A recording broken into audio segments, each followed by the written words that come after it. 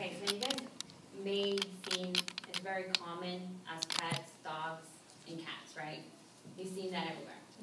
Sometimes for many people, it's too common that they would rather just go ahead and purchase an exotic animal as a pet. Okay, so there's so many pet stores out there in the United States.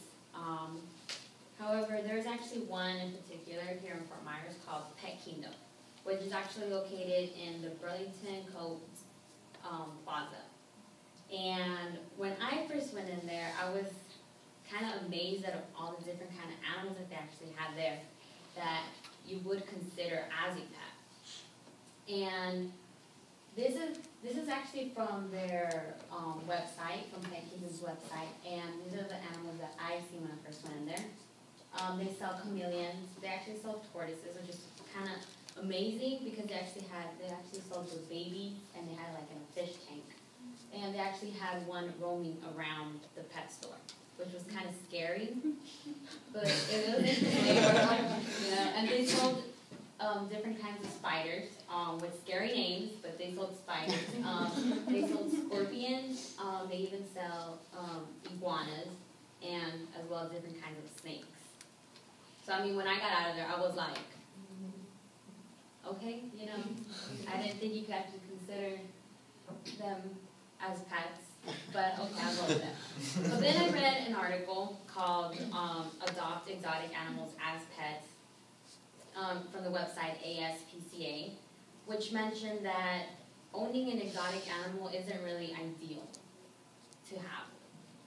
So with the survey that I did, and most of you guys um, did as well, I kind of concluded that you guys were somewhat aware on the effects that um, exotic animals did have. Um, so hopefully, um, I'm going to be talking, what, in a few minutes I'm going to be mentioning um, ways and on how exotic animals can be harmful or an issue um, today. Okay, so these are my two main points.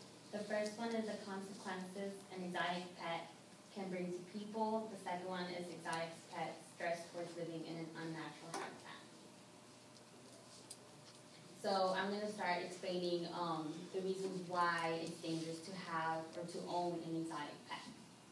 So the first one is the consequences an exotic pet can bring to people.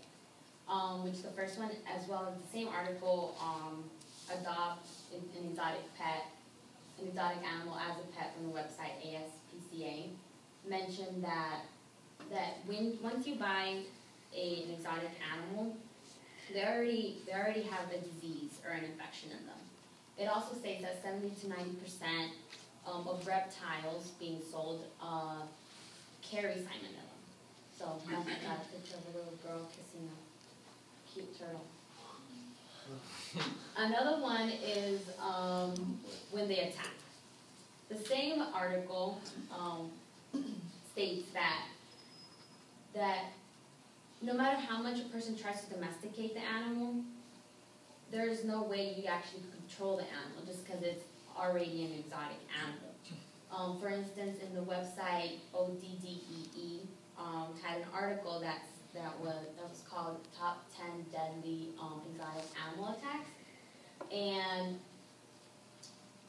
it was accessed in April 2010 from Glenda Manro, and she mentioned that Kelly Walz was doing her normal routine, cleaning the cages of the bear, and all of a sudden, out of nowhere, the bear just attacked her and eventually killed her.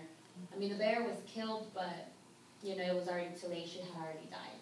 So again, it goes back to the article stating that no matter how much you want to domesticate the animal, you really can't.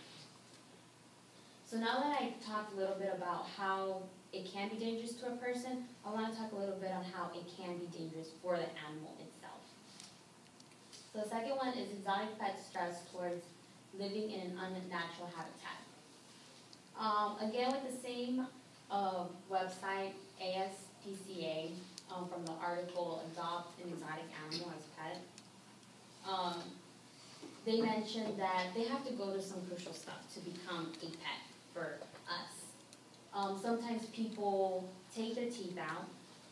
Um, sometimes they cut their wings so they won't fly or even fly at all.